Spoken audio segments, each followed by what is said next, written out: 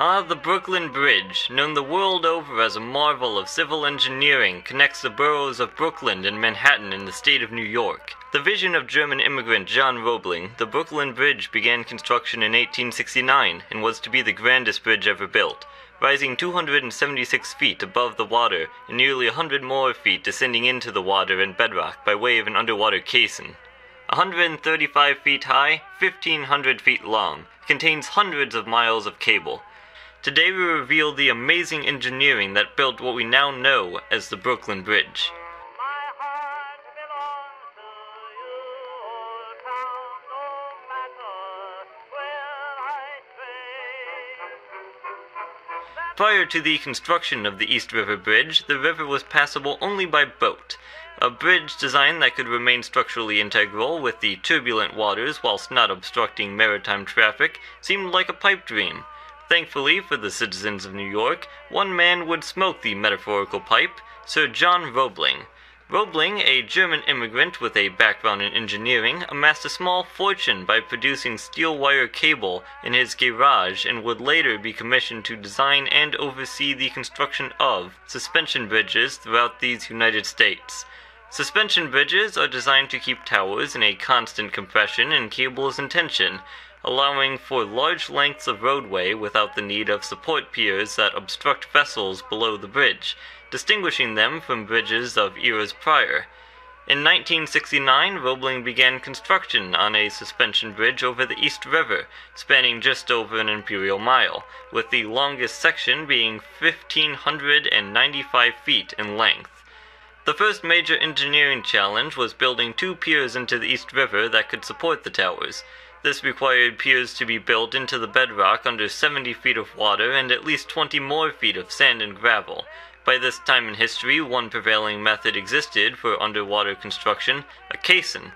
This method has been used prior to the construction of the East River Bridge, never to such a scale as Mr. Roebling intended. The East River caissons were constructed of airtight wooden chambers with no bottom. These structures would then be floated into the correct position and sunk into the riverbed, where an air conduit would pressurize the workspace to approximately twice the standard atmospheric pressure to force the water to evacuate the workspace.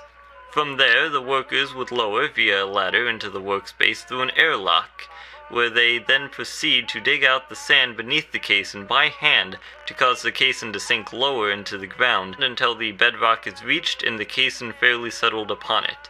To remove the excavated material, a system was devised to away with the sand and refuse excavated from within the caisson, where it may then be carried away by a dredge atop the structure. A New York Times journalist recounts his expedition into one of the East River's caissons. Very few people will fully comprehend the magnitude of the work that has been undertaken in constructing the bridge across the East River. When completed, it will be one of the grandest triumphs of engineering skill. A reporter of the Times recently visited the caisson at the foot of the Roosevelt Street, which presents a scene of the busiest activity. Twelve air pumps, forcing air into the caisson, were noisily at work, and two sand pipes were discharging volumes of sand which rushed through them with a loud noise. Two shafts afford access to the interior of the caisson, and down one of these the party descended by means of the spiral staircase. At the bottom of each shaft on one side is a small oval opening just large enough to admit the body of a man, and closed by an iron door, this affords entrance to a small circular chamber about eight feet in length and six feet in diameter, called the lock. At the bottom of the lock on the opposite side from the entrance is a similar opening, closed in like manner, opening into the caisson, which gives access to its interior. Descending a short ladder, the party found themselves standing upon a narrow plank. Walk out into one of the chambers of the caisson, and seventy feet below the level of the water into the river. The interior is divided into six chambers by massive partitions of wood and iron, with passages through them into each chamber. In all directions are laid narrow plank walks for the convenience of wheeling the sand which forms the bed of the river into discharge pipes. The chambers are about eight feet in height and lined through with a thin plating of iron. This is to guard against woodwork catching fire. The sand excavated is forced out through the pipes by a simple pressure of the air. The pipes are about four inches in diameter and operate upon the principle of a siphon. The sand is wheeled from the different chambers to the pipes and there shoveled around them. The flow can be shut off at any time by means of a stopcock, worked by means of a huge wrench. The trips to and from the interior of the caissons were wrought with discomfort that requires one plugging their nose to create an internal pressure upon the ears, but also afflicted many workers with a mysterious disease then known as caisson disease, known today as decompression sickness, a result of nitrogen bubbles forming in the blood, which may result in a severe pain liking to a tearing of the flesh, or, in more severe cases, paralysis or death.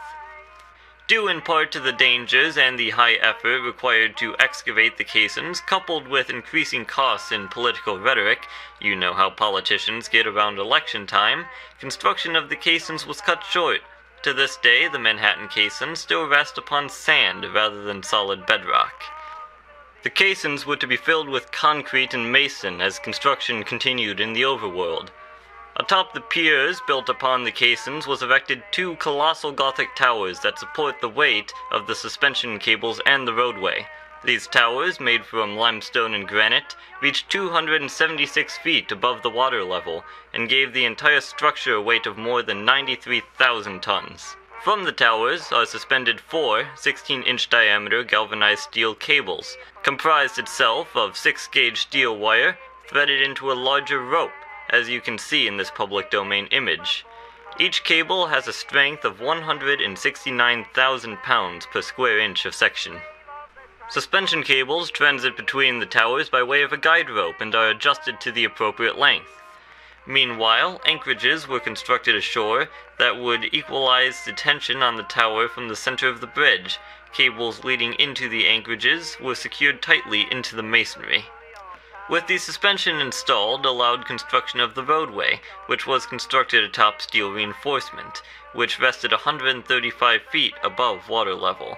In total, the length of the Brooklyn Bridge consisted of 5,989 feet of roadway by length and 85 by width, 3,455 feet of which is suspended among the three sections. For comparison, this is equivalent to 16 and a half football fields, 1,500 standard New York hot dog vendor carts, or approximately the distance that light can travel in 6 microseconds. Now that you are acquainted with these lengths and fairly familiar units of distance, perhaps you can appreciate the great efforts afforded to this project to be built entirely by hand tools in no more than 14 years after the project began, the antithesis of modern construction techniques. You'd be surprised how much you can get done when you're not moving orange cones all day. Do recall that this bridge was built not with the assistance of heavy machinery that is afforded today, rather entirely by tools in the hands of skilled craftsmen. Whatever the weather is shining or showery, that doesn't cut any ice on the Bowery. Every night till broad daylight, they dance and sing and talk. There may be no toll to get across, but there is a death toll. In the end, the construction of the bridge claimed an estimated 27 lives, including that of its architect, Mr. John Roebling, leaving the completion of the bridge in the hands of his son, Mr. Washington Roebling. The bridge was opened on Thursday, 24th of May, 1883, to the great expense of 15.5 million, discounting inflation. All of New York was in attendance, some even calling it the eighth wonder of the world. All doubts and concerns were swept aside as the bridge now opened to the public. Since then, the East River Bridge, now known as the Brooklyn Bridge, has been made integral for the transport of pedestrians, automobiles, and locomotives alike. Old New York, in old New York, the crop is always